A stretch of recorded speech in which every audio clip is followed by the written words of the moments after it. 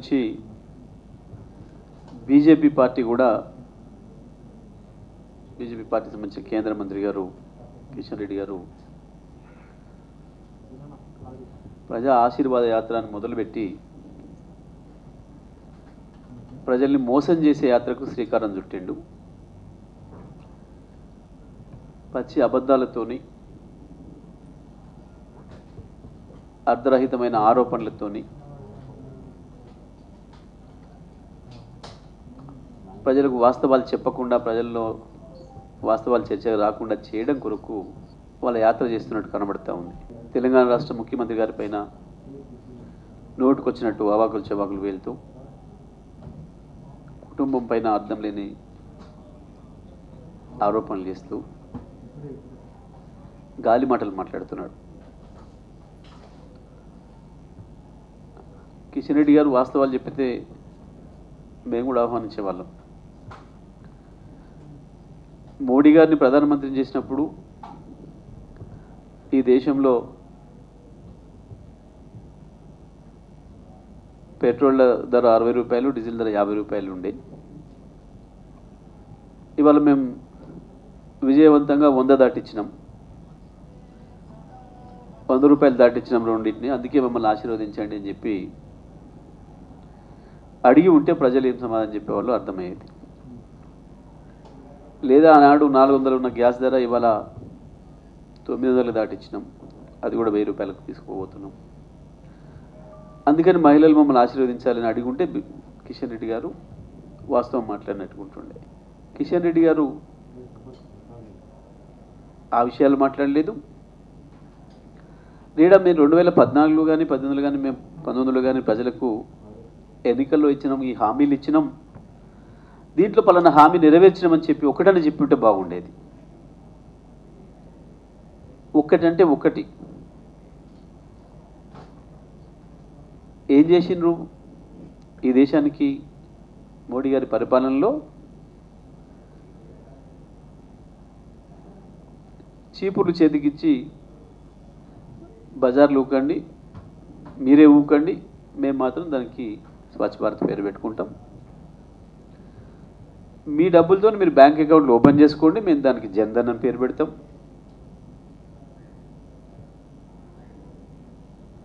గివి చెప్పిండ్రు గివి చేసిండ్రు. ఏమైంది అసలు మీరు చెప్పిన మాట? ఈ దేశంలో ఐదు కోట్ల మందికి ఉద్యోగాలు ఇస్తామని చెప్పారు. స్కిల్ డెవలప్మెంట్ మీద ఊదరగొట్టిండ్రు ఏం స్కిల్? అబద్ధాలు చెప్పే దాంట్లో స్కిల్ మీరు నేర్చుకున్నారు. కింది నుంచి పై స్థాయి కనుక మీ బీజేపీ పార్టీ కార్యకర్తలకి అబద్ధాలు చెప్పే స్కిల్ ఒకటి నేర్పారు తప్ప ఈ దేశం యువతకి ఏం స్కిల్ నేర్పాలి. అన్నిటికీ మించిన పెద్ద మోసం నాకు అవకాశం ఇస్తే ఈ దేశ ప్రజల సొమ్మంతా కష్టమంతా ఈ దేశ ప్రజల చెమటంతా స్విస్ బ్యాంకుల్లో దాచిపెట్టబడి ఉంది లక్షల కోట్ల రూపాయలు.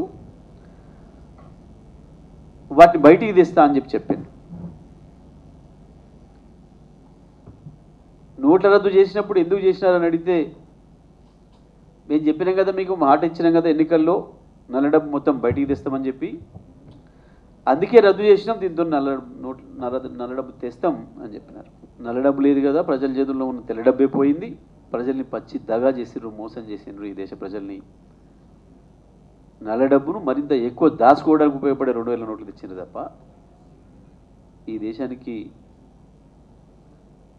మోడీ గారి ప్రభుత్వం ఇచ్చింది ఏం లేదు. పైగా మమ్మల్ని మాట్లాడుతున్నారు. ఏందో వాళ్ళ డబ్బులు తెచ్చిస్తానంటే మేము వాటిని దుర్వినియోగం చేసినామంట. ఎక్కడ చూపిస్తే వా కిషన్ రెడ్డి గారు? మీ మీ పాలిత రాష్ట్రాల్లో మీ మీ పార్టీ పాలిత రాష్ట్రాల్లో. బీజేపీ వరుసగా ఇరవై సంవత్సరాల నుంచి పదిహేను సంవత్సరాల నుంచి పది సంవత్సరాల నుంచి ఐదు సంవత్సరాల నుంచి పరిపాలిస్తున్న రాష్ట్రాలు చాలా ఉన్నాయి కేంద్రంతో పాటు. కేంద్ర ప్రభుత్వం కూడా మీరు ఉండగా. ఒక్క రాష్ట్రంలో అంటే ఒక్క రాష్ట్రంలో రెండు వేల రూపాయల పెన్షన్ చూపిస్తారా? ఉన్నదా మీకు దమ్ము? చివరికి మీ మోడీ గారి సొంత రాష్ట్రం గుజరాత్లోనైనా చూపిస్తారా? రెండు వేల రూపాయలు మూడు వేల రూపాయల పెన్షన్. మీరు పెన్షన్ల పేరు మీద ఇస్తున్నది ఎంత? మేము దుర్వినియోగం చేస్తున్నది ఎంత? ఏది దుర్వినియోగం? రెండు వేల రూపాయలు మూడు వేల రూపాయల పెన్షన్ ఇవ్వడం దుర్వినియోగమా? చూపిస్తారా మీ రాష్ట్రాల్లో కళ్యాణ లక్ష్మి షాది ముబారక్ పథకాలు? ఏ పేదింట్లో పెళ్ళి జరిగినా అది కన్నీళ్ళతో జరగొద్దని అప్పుల బాధతో జరగొద్దని ఆ పెళ్ళికి చేసిన అప్పు వల్ల ఆ- కుటుంబంలో ఆత్మహత్య జరగొద్దని ప్రభుత్వమే స్వయంగా లక్ష నూట పదహారు రూపాయలు అందించే కార్యక్రమం కళ్యాణ లక్ష్మి షాది ముబారక్ కార్యక్రమాలు మీ గుజరాత్ మీ మధ్యప్రదేశ్ రాష్ట్రాలతో సహా ఇవాళ కర్ణాటకలో కూడా మధ్యలో ప్రజలు ఓడించిన అక్రమంగానూ దుర్మార్గంగానూ పరిపాలన చేస్తున్న ఆ రాష్ట్రంలోనే చూపిస్తారా మీరు? ఎక్కడ చూపించగలుగుతారు? చూపిస్తారా? మిషన్ భగీరథ ఈ దేశంలో ఎక్కడైనా?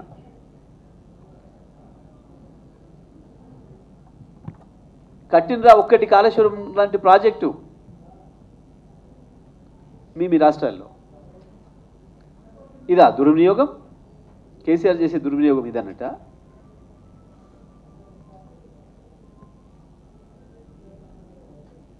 మా పథకాల్ని కాపీ కొట్టి కాపీ కొట్టి కూడా చక్కగా అమలు చేసిన సందర్భం లేదు ఇప్పటివరకు మీరు ఈ దేశంలో. ఏ రాష్ట్రంలో కూడా.